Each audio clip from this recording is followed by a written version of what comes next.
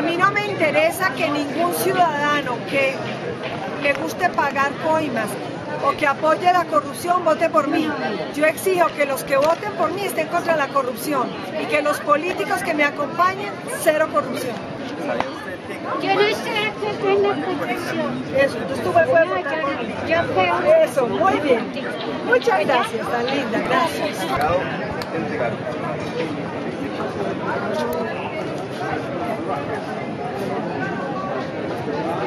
Entonces, un funcionario público tiene que cobrar una multa, ¿sí?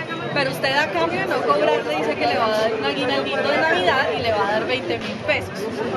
Si paga, se puede ir de la casa. Si no, tiene que asumir las consecuencias. ¿Qué hace? No, asumo las consecuencias. Asume las consecuencias y paga el aguinaldo.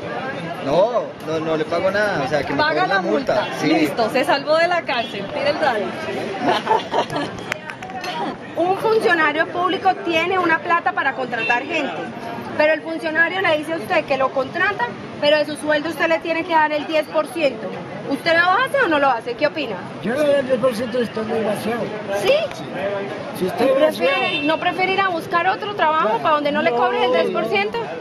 yo pago el 10% y le doy la mitad. si le- ¿Sí? Porque ¿Usted sí. también? Porque ¿qué hago? Bueno, vamos a ver entonces qué pasa más adelante. si de pronto han cometido un acto de corrupción. Vamos a ver qué pasa. ¿La plata para que le den el subsidio? ¿Sí? Toca quedar bien. Que toca entrar a la campaña para cambiar de mentalidad. Para que empiece a pensar que la corrupción tiene que ver con todo. Bueno, listo. ¿Cierto? Porque es que la corrupción nos hace daño, porque esa es una práctica que se le quita a la educación a la salud. Otra, resulta que vas muy de afán para tu casa y te saltas un semáforo en rojo. ¿no? Y entonces el policía te dice, si me paga 10 mil pesos lo deja seguir. ¿Y usted qué prefiere? ¿Regaño de su novio o su mujer? ¿O pagarle los 10 mil pesos de contra al policía? No, yo prefiero el regaño de mi mujer. Eso, bravo, ahí puedes avanzar, bravo. Vamos mejorando. Para que se salve de la cárcel es la siguiente pregunta. La siguiente pregunta para salvarte de la cárcel. Bueno, resulta que tú tienes interés en ganarte un contrato y el funcionario público te dice, bueno, yo se lo doy, pero tranquilo, eso sí me tiene que dar el 10% del contrato, calladito, nadie va a saber. ¿Usted qué prefiere, ganarse el contrato y darle la platica o perder el contrato que usted necesita? No, hace el contrato y más bien paga ir a conseguir otra paga. ¡Eso, bravo! ¡Bravo! Se volvió buen ciudad. ¡Chócala! No, es que no va mejorando. Muy bien. Uno.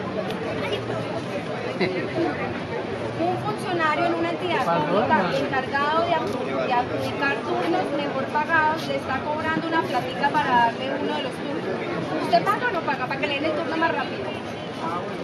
No paga. Muy bien, entonces tiras otra vez el dado.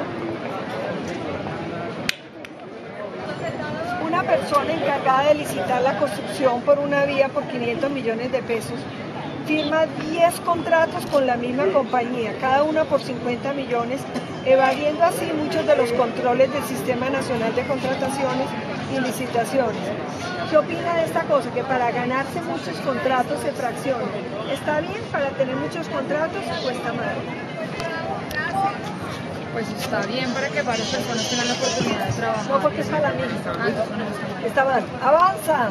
Bueno, ya. Uno, muy bien, ya terminaste. ¡Bravo! ¡Bravo!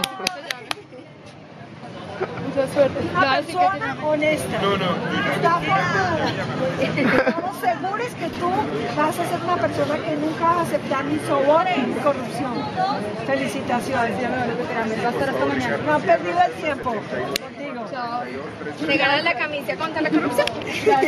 Ellos no de mí. Ellos tienen unas propuestas muy interesantes para ti. Ya te la voy a presentar. Mira. que no hay que ser corruptos en este país, pero lo que pasa es que acá hay mucha gente corrupta.